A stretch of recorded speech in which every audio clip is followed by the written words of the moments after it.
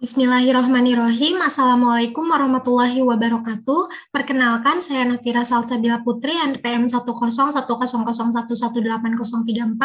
Saya dari Fakultas Kedokteran Universitas Islam Bandung akan melakukan presentasi dari hasil artikel saya yang berjudul Scoping Review Pengaruh Latihan Fisik Terhadap Perbaikan Gejala Klinis Osteoartritis.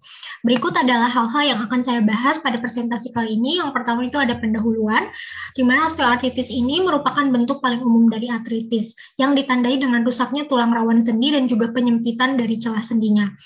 Osteoartritis ini bersifat kronis. Di Indonesia terdapat 7,3 persen pada laki-laki dan pada perempuan ada 6,1 persen. Osteoartritis memiliki gejala klinis seperti nyeri, morning stiffness, swelling, crepitus, retriksi, dan juga muscle weakness. Di mana osteoartritis ini bisa dilakukan manajemen secara farmakologi dan juga non-farmakologi. Topik yang menjurus pada penelitian saya itu lebih di non farmakologinya karena di sini juga disebutkan bahwa non farmakologi ini merupakan intervensi yang memang tidak bisa dipisahkan juga untuk rencana terapi osteoartritis. Nah, untuk manajemen non farmakologi ini terdiri dari edukasi, mengurangi berat badan, latihan fisik dan juga fisioterapi.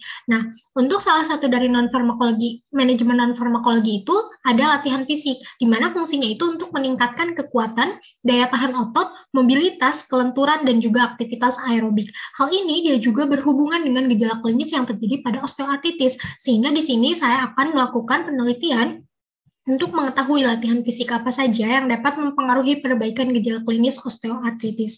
Nah, untuk metode penelitian yang saya gunakan di sini ada jenis penelitian scoping review, populasinya jurnal nasional dan internasional, sampelnya ada 9 artikel, sumber datanya dari database PubMed, Science Direct, dan juga Springer Link. Untuk kriteria inklusinya, yaitu artikel yang telah dipublikasi secara internasional, berkaitan juga dengan judul dan sesuai dengan database, artikel pada tahun 2017 sampai 2021, full text dan juga berbahasa Inggris.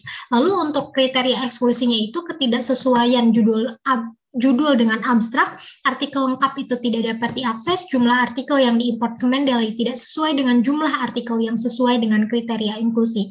Lalu disesuaikan juga artikel tersebut dengan PCOS-nya, di mana terdapat populationnya yaitu osteoartritis, intervensinya latihan fisik, comparisonnya penderita osteoartritis dengan latihan fisik dan tanpa tanpa latihan fisik dan juga untuk outcome-nya yaitu ada perbaikan gejala klinis osteoartritis. Untuk studinya itu ada clinical trial dan juga randomized control trial. Di mana untuk prosedur penyusunannya saya akan melakukan pencarian data terlebih dahulu pada sesuai dengan database yang tertera, lalu screening data dengan melihat apakah ada yang duplikat atau tidak, lalu disesuaikan dengan kata kunci dan juga dengan PICOS-nya.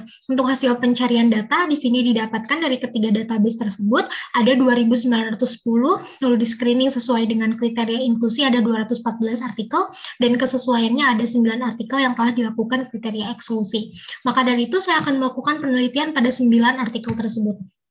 Yang mendapatkan hasil, dari sembilan artikel tersebut ada tiga artikel dengan intervensi latihan kekuatan, dua artikel dengan intervensi latihan berjalan, dan empat artikel dengan latihan masing-masing dengan intervensi masing-masing terdiri dari latihan akuatik, latihan yoga berbasis biomekanik, latihan berbasis internet, home based non weight bearing quadricep. Nah, dari semua latihan fisik di atas ini berdasarkan penelitian yaitu mempengaruhi gejala klinis osteoartritis seperti nyeri, kekuatan otot, dan juga mobilitas. Nah, untuk uh, di sini juga dari hasil uh, pembahasannya itu menunjukkan bahwa latihan kekuatan ini yaitu menunjukkan adanya uh, pengurang mengurangi nyeri, mobilitas dan fungsi pada osteoartritis lutut yang dibandingkan dengan latihan uh, sensori motorik. Nah, di sini juga latihan sensori motorik ini terdiri dari uh, salah satunya adalah latihan keseimbangan yang mana berdasarkan hasil penelitian juga dia berhubungan dengan latihan kekuatan sehingga bisa berpengaruh juga pada uh, gejala klinis osteoartritis. Nah, di mana di sini juga ada latihan kekuatan intensitas tinggi dan kekuatan intensitas sedang yang dilakukan pengukuran menggunakan WOMAC, tidak ada perubahan nyeri secara signifikan disebabkan karena ada karakteristik dari kelompoknya dan juga bisa karena placebo, salah satunya bisa karena riwayat penyakit. Nah, di sini juga ada latihan home based non weight bearing quadriceps tightening dan juga weight bearing functional exercise. Di sini menunjukkan adanya penurunan nyeri, uh, tetapi tidak ada perbedaan secara signifikan pada kedua latihan tersebut dan juga ada latihan berjalan dengan jenis retro walking dan juga forward walking dari kedua jenis tersebut yang paling efektif menurunkan nyeri yaitu yang retro walking. Jadi dia efektif menurunkan nyeri dan fungsi disabilitas serta perubahan otot pada quadricep juga. Nah, di sini juga ada latihan berjalan berbasis sensor yaitu mengalami penurunan besar pada nyeri dan juga uh, dibandingkan dengan latihan berjalan uh, tanpa berbasis sensor. Hal ini disebabkan karena efek potensial floor efek yang tidak dilakukan pada penetapan skor nyeri minimum. Dan juga di sini ada latihan akuatik yang ada faktor-faktor uh, tekanan hidrostatik, perubahan peredaran darah, gerakan yang lebih besar, karena faktor tersebut di sini juga bisa menyebabkan adanya pengurangan nyeri. Lalu ada latihan yoga yang dibandingkan dengan latihan tradisional itu tidak ada perubahan secara signifikan, tidak ada perbedaan secara signifikan karena di sini dari ukuran sampel yang kecil pada setiap kelompok sedangkan variabilitasnya lebih besar. Dan juga ada latihan berbasis internet di mana di sini untuk penurunan nyerinya itu lebih signifikan dibandingkan dengan manajemen diri. Berdasarkan kesimpulan dari hasil penelitian tersebut didapatkan bahwa latihan fisik yang diberikan sebagai terapi osteoartritis ini terdiri dari latihan kekuatan kekuatan, latihan berjalan, latihan akuatik, latihan yoga berbasis biomekanik, dan latihan fisik berbasis internet. Semua latihan fisik di atas ini berpengaruh pada perubahan nyeri, kecuali latihan kekuatan dan latihan berjalan, yang bisa berpengaruh juga pada mobilitas dan fungsi otot, serta latihan sensori motorik yang berpengaruh besar pada kekuatan isometrik.